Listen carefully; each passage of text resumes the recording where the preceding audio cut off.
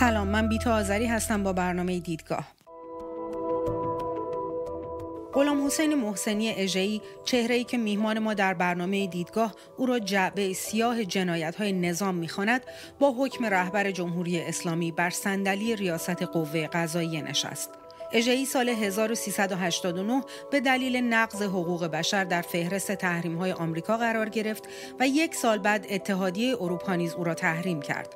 او متهم است که با فتوایش قتل پیروز دوانی را در جریان قتل‌های زنجیره‌ای رقم زده. اژه‌ای در سالهای ریاستش بر مجتمع غذایی کارکنان دولت پروژه فشار بر مطبوعات را دنبال می‌کرد تا حدی که در خرداد 1383 در یکی از جلسات هیئت نظارت بر مطبوعات با عیسی سحرخیز نماینده مدیران مطبوعات گلاویز شد قندان را به سویش پرتاب کرد و کتفش را گاز گرفت. محسنی اژه‌ای در پرونده انفجار در حزب جمهوری اسلامی و پرونده مهدی هاشمی برادر داماد آیت الله منتظری نقش بازجو را عهدهدار بود. سال 76 نیز قاضی دادگاه غلام حسین کرباسچی شهردار وقت تهران بود و در دولت اول محمود احمدی نژاد به عنوان وزیر اطلاعات منصوب شد. اما پس از انتصاب اسفندیار رحیم مشایی به عنوان معاون اول رئیس جمهوری با احمدی نژاد درگیر و برکنار شد.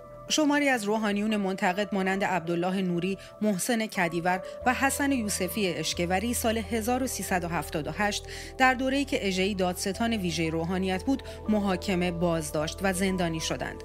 اژه‌ای در دوره ریاست صادق لاریجانی بر قوه قضاییه دادستان کل کشور و معاون اول قضاییه بود. او در دوره‌ای به ریاست قوه قضاییه رسیده است که رئیس مجلس و رئیس جمهوری هر دو از نزدیکان علی خامنه‌ای رهبر جمهوری اسلامی هستند. در این برنامه دیدگاه همراه با رضا علیجانی فعال سیاسی از فرانسه دلایل علی خامنه‌ای برای انتصاب اژه‌ای در سمت ریاست قوه قضاییه را بررسی می‌کنیم و از رابطه دولت و قوه قضاییه در دوره که رؤسای سه قوه منصوب خامنه ای هستند می‌پرسیم.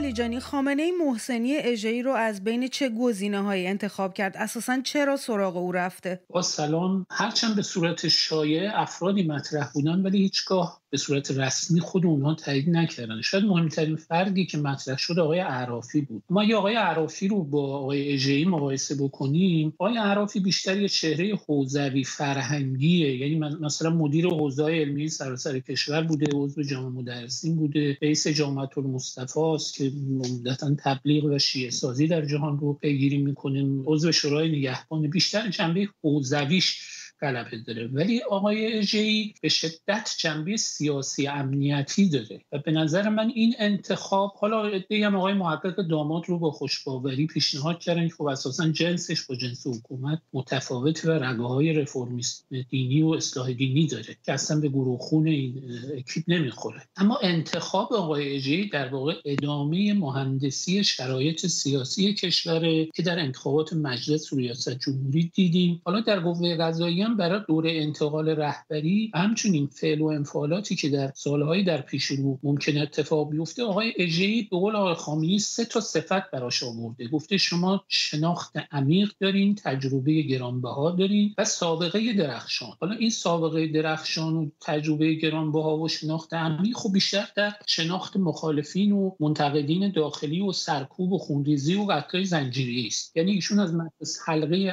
حقانی مدرسه حقانی که آمدن خیلیشون بخشای غذایی ولی امنیتی ترین چهره قوه قضاییه که میشه گفت بخشی از تاریخخانه جنایت رو تشکیل میده و خودش متهم در قتل‌های زنجیری است و به عبارت یه جعبه سیاه اسرار جنایت هست. آقای اجی است. آقای اجی همه به سوابق رو داره. دادستان دادگاه ویژه بوده دادستان کل کشور بوده مسئول گزینش وزارت اطلاعات بوده وزیر اطلاعات بوده معاون قوه قضاییه بوده. بنابراین ایشون یک فردی است که همه ویژگی ها رو برای دوران انتقال و برای دورای سرکوب مخالفین داراست. با پیشینه ای که از اژه‌ای سراغ داریم و شما به بخشهایش اشاره کردید فکر می‌کنید قوه قضاییه در دوره او چه تحولاتی به خودش خواهد دید؟ قوه قضاییه شاید یه مقدار امنیتی تر هم بشه. البته در دوره آقای رئیسی هم این بود. آقای رئیسی هم بزرگ شده قوه قضاییه و بخشای سرکوب بود. اما آقای اژه‌ای معتمدتره در این حوزه و عدم استقلال قوه قضاییه ادامه پیدا خواهد کرد. ولی به نظر نظر من آقای اژه‌ای معمور پرونده های بزرگ بوده همیشه. پرونده کرباسچی پرونده پرونده مهدی هاشمی به برادر داماد آقای منتظری پرونده های اینچونینی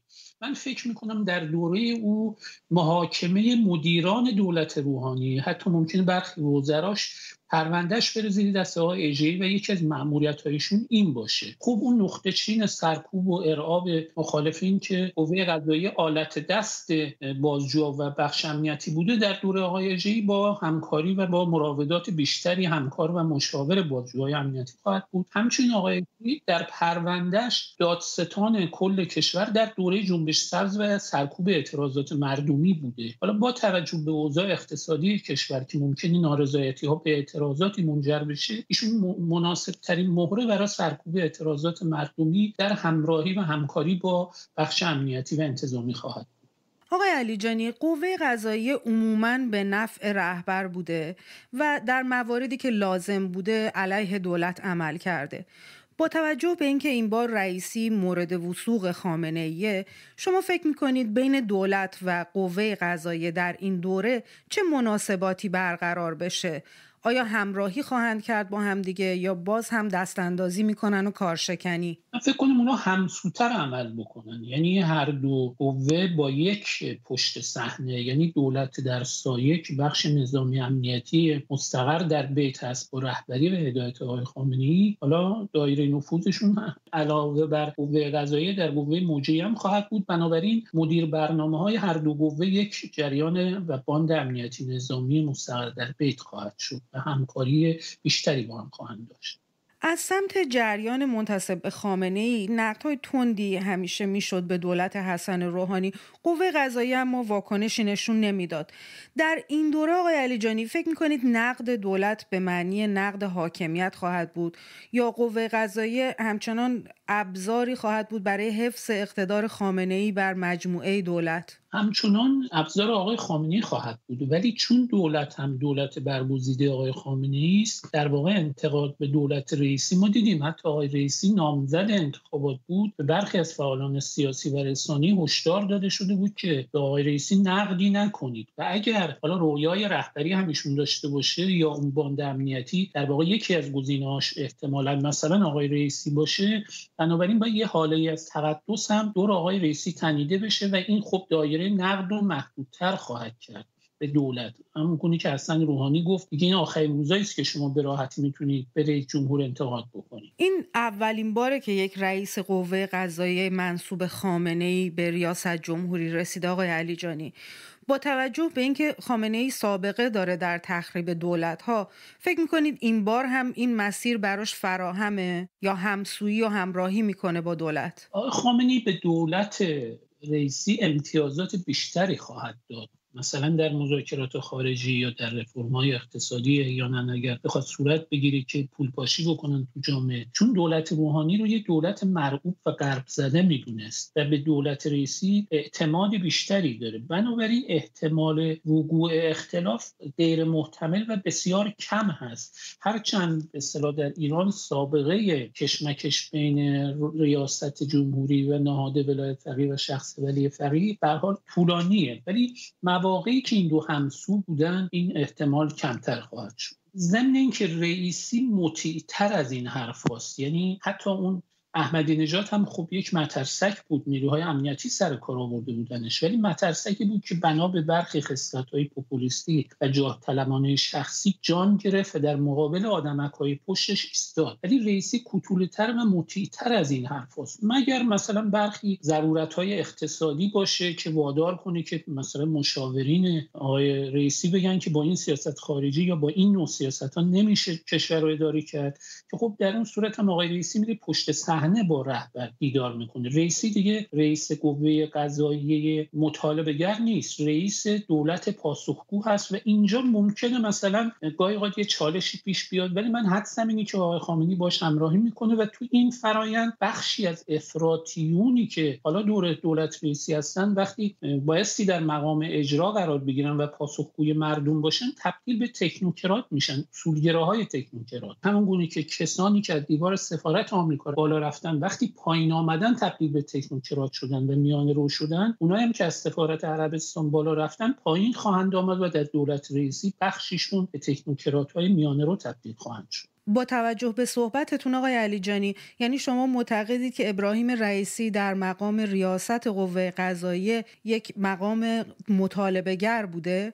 مطالباتش چی بوده و از چه کسی بوده؟ بالاخره از دولت مطالبه گر بود. رئیسی ببینید مثلا تو سیاست خارجی دخالت می‌کرد. در سیاست داخلی دخالت می‌کرد. انتقادات رو و مشکلات کشور رو گردن دولت میانداخت. من فکر می‌کنم اجهی چون حد خودشون می‌دونه که مامور سرکوبه دیگه کمتر مثلا تو سیاست خارجی دخالت بکنه. یا در سیاست داخلی چون همسو با دولت هست به اصطلاح تیغ نقل رو به سمت دولت پیش نخواهد بود آقای علیجانی در دوره‌ای که دو منصوب خامنه ای بر قوای مجریه و قضایی مسلط شدن به نظر شما فضای سیاسی کشور به کدام سمت و سو خواهد رفت؟ فکر می‌کنم نقطه چین سرکوب و ارعاب و محدود کردن فضای مجازی اونها نقطه چینش ادامه پیدا خواهد کرد. تغییرات کمی خواهد بود نه کیفی. چون هر اتفاقی می‌خواست بیفته در همین دولت روحانی به ویژه دولت دومش افتاد. مگر مثلا اگر رئیسی رئیس جمهور بود در آبان ماه می‌خواستن بیشتر از این بکشن. یا بازداشت ها تهدیدها حکم اعدام ها مگه می‌خواست بیشتر از این باشه؟ من فکر می‌کنم این نقطه چین ادامه پیدا خواهد کرد تغییرات کمی خواهد بود. نه کیفی شاید شاید در انتقال رهبری از رهبر دوم جمهوری اسلامی به رهبر سوم ما شاهد برخی تغییرات کیفی بشویم. ولی فکر نمی کنم دولت رئیسی هیچ تغییری کیفی مثبت یا منفی شگفت انگیزی درش اتفاق بسیار سپاسگزارم از شما. رضا علی جانی فعال سیاسی از پاریس فرانسه. امیدوارم از این برنامه بهره برده باشید. ممنون از همراهی شما.